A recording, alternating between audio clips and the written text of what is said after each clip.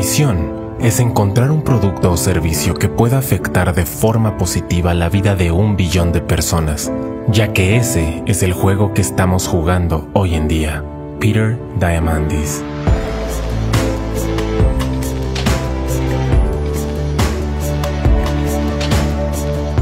Hace 10 años jamás imaginamos conquistar el cielo en un vehículo eléctrico.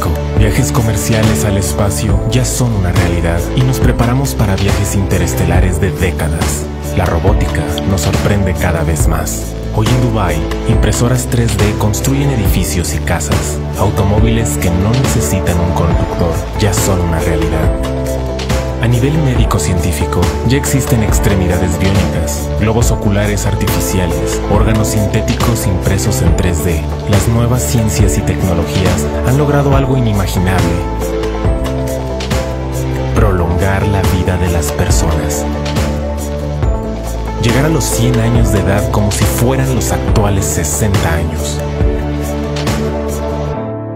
Hace ya 40 años, científicos en Japón comenzaron a investigar a los centenarios de la isla de Okinawa, personas que rebasan los 100 años de edad y que no sufren padecimientos crónicos degenerativos, gozan de una energía natural y mantienen una actividad física asombrosa.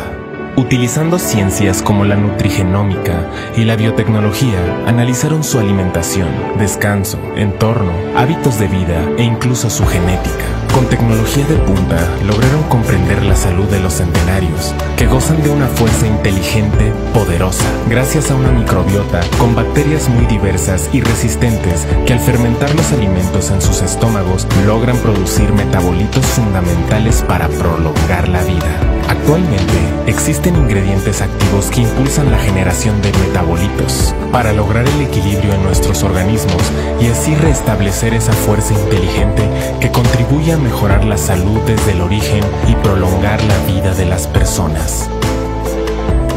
Es tal el impacto de los metabolitos y sus efectos que cientos de médicos y nutriólogos comenzaron a utilizarlos en atletas olímpicos, al igual que en personas que habían perdido su salud. Esta tecnología de última generación está cambiando nuestro mundo.